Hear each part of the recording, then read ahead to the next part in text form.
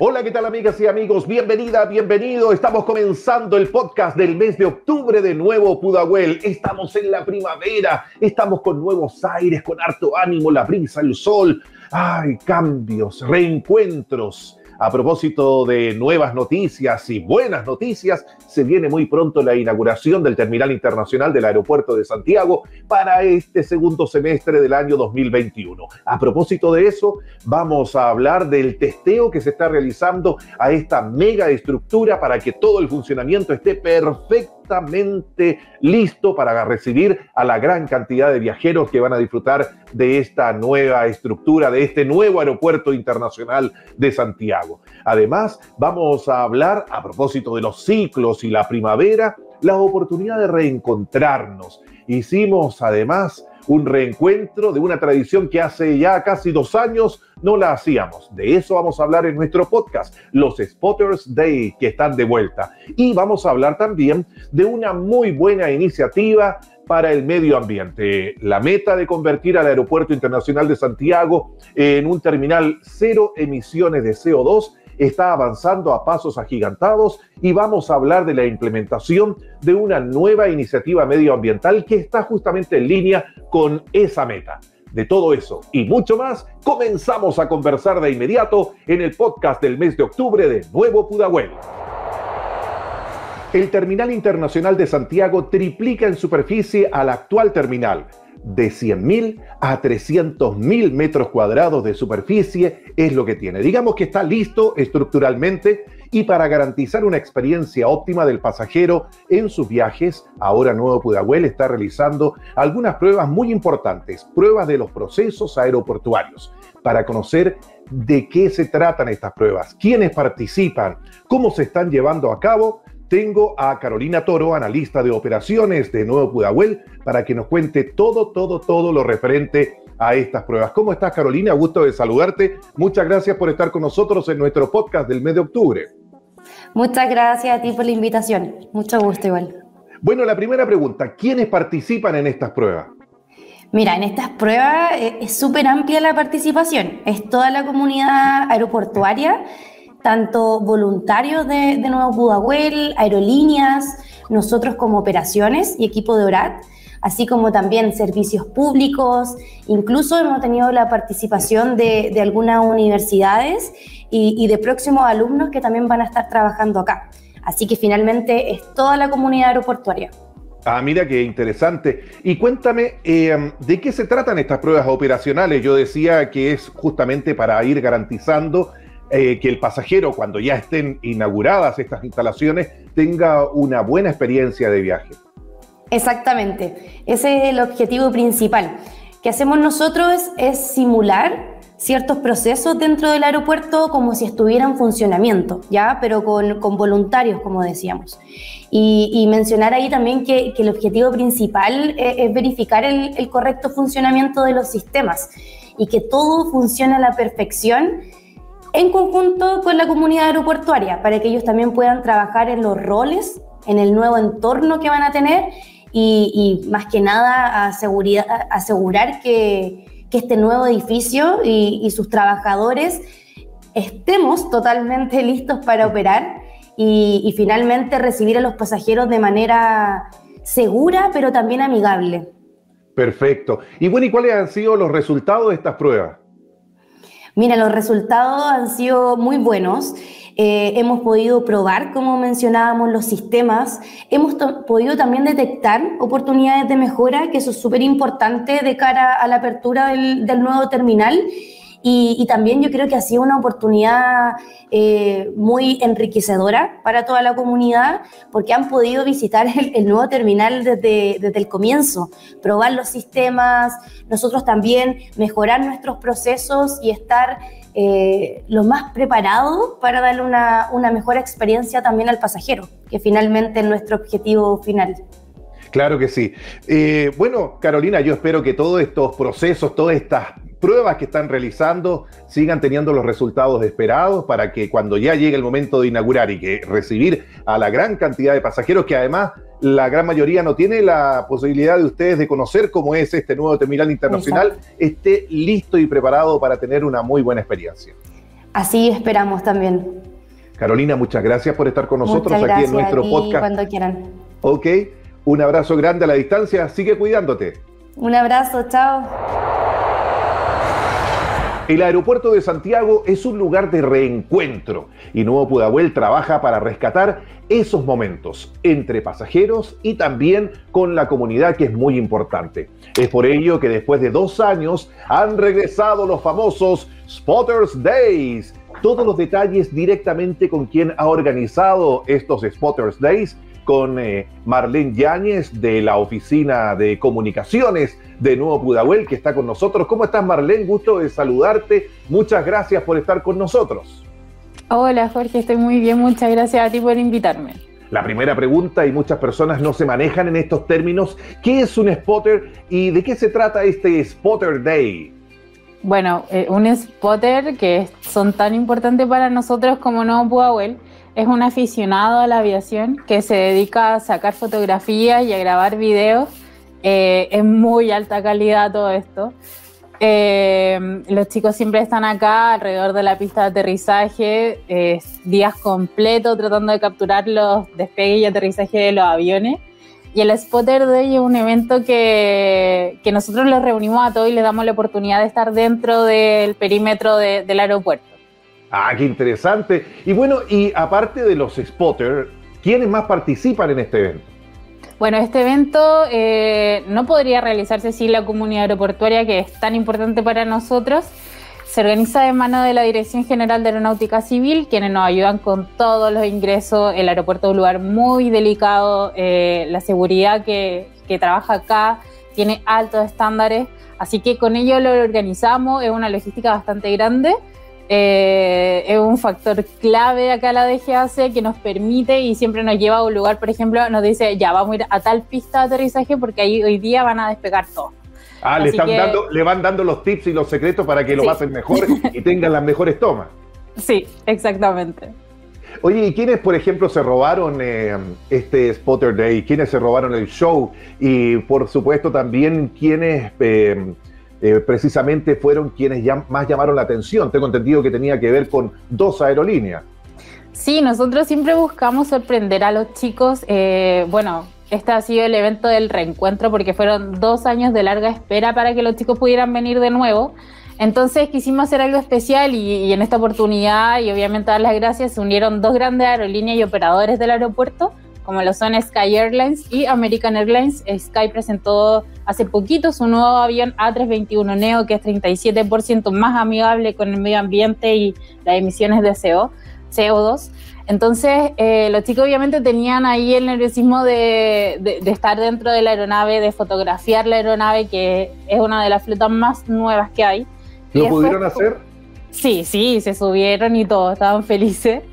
Eh, y después, obviamente, como broche de oro, cerramos con American Airlines, que hace poco reactivó su ruta Santiago-Nueva York. Los chicos se subieron a un Boeing 787, que es un avión de fuselaje ancho que realiza vuelos de largo alcance. Así que la verdad es que, obviamente, son aerolíneas muy importantes para nosotros y nosotros felices que se puedan unir a esta oportunidad. Oye, ¿y se viene algún otro Spotter Day pronto?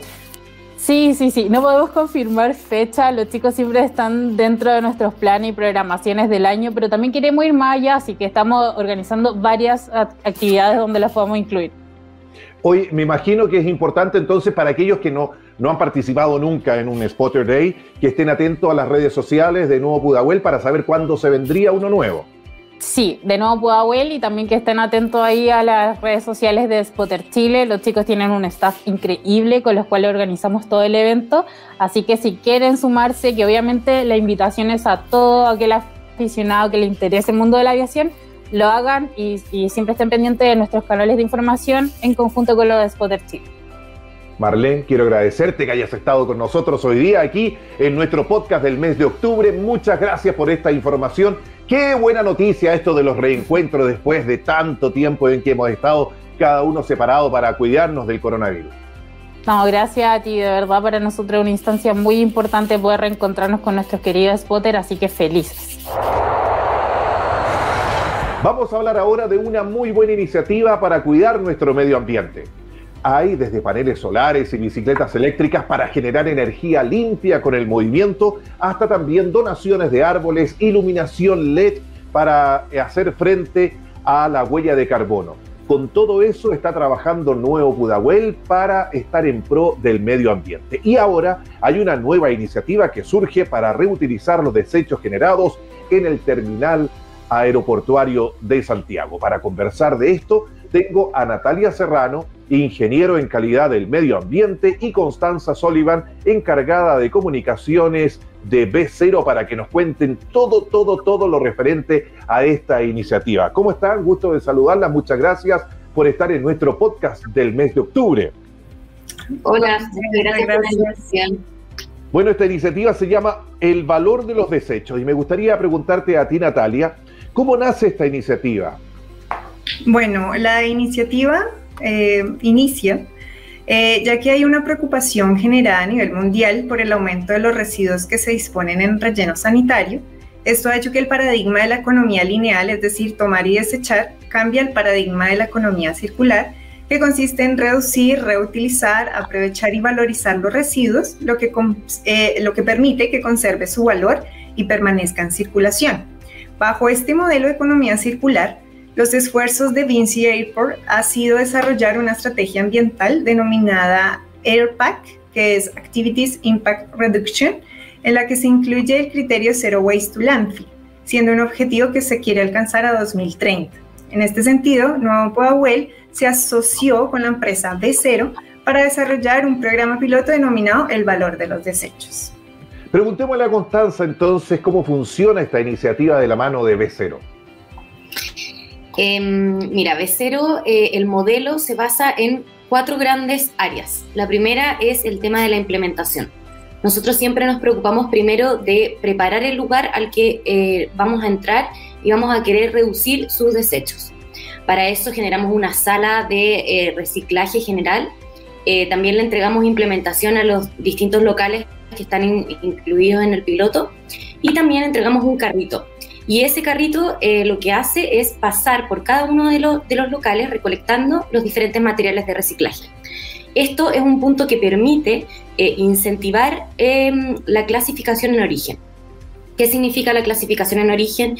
Y es que cada uno de los locales en su interior sea capaz clasificar y separar sus diferentes residuos para así que desde el primer punto, o sea, desde donde comienza a generarse el desecho, eh, llegue bien clasificado y separado correctamente y bien dispuesto a una sala general de reciclaje. Qué bueno, porque en general las personas a lo mejor reciclamos, pero no sabemos hacer la, la diferencia de qué tipo de residuos, qué tipo de materiales son para dejarlos separados. Exacto, y además se hace un acompañamiento a eh, los diferentes locales en donde se le enseña educación y cultura y se le entrega también algo que es súper importante, que es como el empoderamiento a la persona que lleva el carro y que es el encargado de trasladar estos residuos desde donde se generan hasta una sala general de acopio, que es el lugar donde, donde mm, lo vienen a Donde llegan los residuos. Exacto.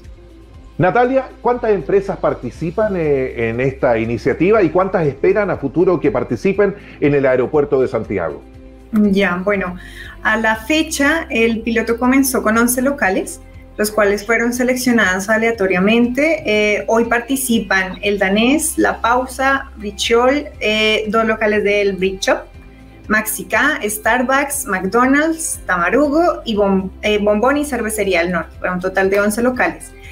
Bueno, esperamos una vez que estos locales estén implementados y el programa operando 100% con residuos orgánicos y residuos reciclables secos, poder incorporar muchísimo más locales al recorrido, tanto en el T1 y próximamente para el T2. Em, al ser un piloto, estamos en un proceso de aprendizaje, pero esperamos poder transformar la cultura de los residuos en todo el aeropuerto para el día de mañana. Mira, qué bien, qué interesante. Oye, Constanza, si lo llevamos esto a los desechos, ¿qué tipo de desechos podemos reutilizar en esta iniciativa y en cuánto se puede contribuir para la reducción de la huella de carbono? Mira, como contaba Natalia, eh, efectivamente esto es un piloto y recién estamos comenzando la marcha blanca. Por lo tanto, em, aún no tenemos implementado un sistema de pesaje. El sistema de pesaje se implementa una vez ya eh, los locales tengan las infraestructuras y ya puedan estar reciclando y generando y gestionando sus residuos al 100%. Por el otro lado, eh, el tema de los residuos orgánicos que em, debiese implementarse ya entre esta y la próxima semana es uno de los programas más potentes, porque eh, se considera que aproximadamente el orden del 50% de los residuos que generamos son orgánicos. Por lo tanto, ahí ya tenemos una disminución de la cantidad que va a los rellenos sanitarios gigantesco y también eh, del impacto que puede generar al medio ambiente. Mira, ahora le voy a preguntar a Natalia, ¿qué sigue después de, de esta iniciativa, el valor de los desechos? ¿Viene algo más? Claro que sí. Eh, bueno, se vienen eh, varias medidas, estrategias. Eh, una de ellas es que, bueno, todos estos residuos se van a llevar a plantas de valorización y en el caso de los residuos orgánicos se van a llevar a plantas de compostaje. ¿sí? La idea es que estas, estos residuos orgánicos se transformen en fertilizante natural pero en paralelo estamos avanzando en otra solución in situ, un tratamiento que se llama la máquina del reciclaje para compost en 24 horas. Genera compost en 24 horas a partir de estos residuos orgánicos. Eh, y la idea es que lo podamos implementar para en un futuro poder ahorrar la contaminación que se genera por el transporte de los residuos orgánicos a la planta. También estamos explorando la posibilidad de generar a través del reciclaje textil prendas de uniforme para quienes recolecten el, reciclaje que estamos eh, implementando en el aeropuerto. O sea, vienen muchas otras iniciativas más hacia adelante. Así es. Yo quiero agradecerles a ustedes, Natalia Constanza, por haber conversado con nosotros en nuestro podcast del mes de octubre, aquí en Nuevo Pudahuel. Eh, fueron las últimas invitadas con un tema que obviamente a todos nos importa, como es el medio ambiente. Muchas gracias. gracias. muchas gracias por la invitación. Ya pues, nosotros comenzamos a despedirnos hasta el próximo mes, ya de noviembre. A pasos agigantados nos estamos llegando a fin de año, pero siempre con buenas noticias y muchas novedades aquí en los podcasts de Nuevo Pudahuel. Sigan cuidándose hasta el próximo mes. Chao, que lo pasen bien.